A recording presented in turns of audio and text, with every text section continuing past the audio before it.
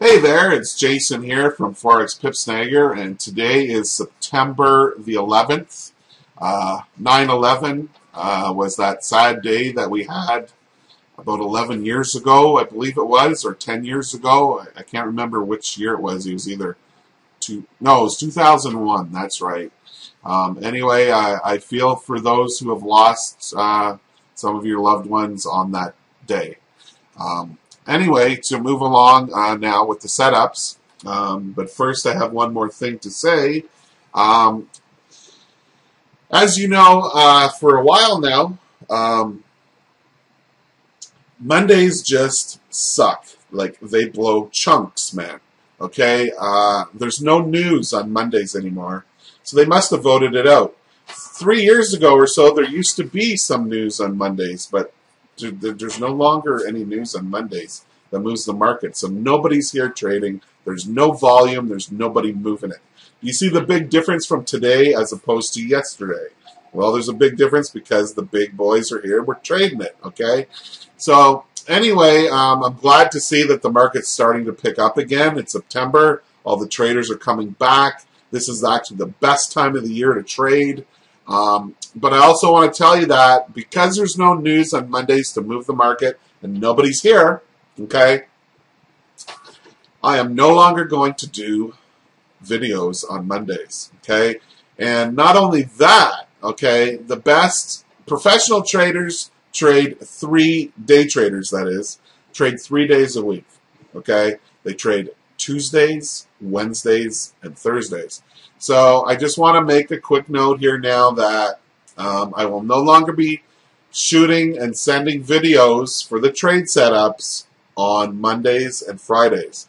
It's just going to be Tuesday, Wednesday, Thursday now when the market moves. So if you're a smart trader, if you're a professional trader, if you look at this as a profession, you really should consider trading only three days a week. And think of the benefit, okay? The benefit is is that you're not going to be as stressed out because you're not going to put yourself through you know all this stress for five days. Instead, you're going to do it for three. You're going to have extra long weekends every weekend. You're going to have Friday, Saturday, Sunday, Monday off to to live life and enjoy life and you know get ready to trade the market again on Tuesday. And that's it. So anyway, I'm going to get along with the get on, get along, get on with the setups now. Um, so here's our 10 o'clock GMT, which is 2 o'clock in the morning. As you can see, shot up real quick. They had no retrace into the trigger line. There was no selling here. The filter did not agree. Um, and then again, here in the U.S. session, shot up real quick. Didn't give us any nice retracement to get in other than this little bit here. And if you did get in here, it's about 28.05. Well, she shot up 30 to 60 pips up to the top with your stop about 40 pips. And if you missed that entry, uh, well, basically, you would have looked to get in on one of these entries here, and it gave you three times, three opportunities to buy it right there. And all three of those opportunities, including this one, the fourth opportunity, the first opportunity, was all nice winning trades. Okay, so let's take a look at the one minute now. Okay. Oh, the one minute basically way over here told you to buy it, but really you wanted to buy it over here. Okay, once you've seen that perfect gap formation. Gap formation right here, but the filter was not agreeing at that time. So if you were brave and you bought a dip there, which I wouldn't have because I'm looking to get in right here, okay, and it didn't give me that. It went up about 36 pips, okay. Um, there's no selling here, it was blue. But right here, okay, uh, it would have got you to look to buy it, and you had six pips to there, 10 to there. Okay, well, you could have got maybe six, seven pips out of that one. Um, but no, you couldn't have because that was past our time to trade. I'm sorry. Yeah, that was past our two hour window. Sorry about that.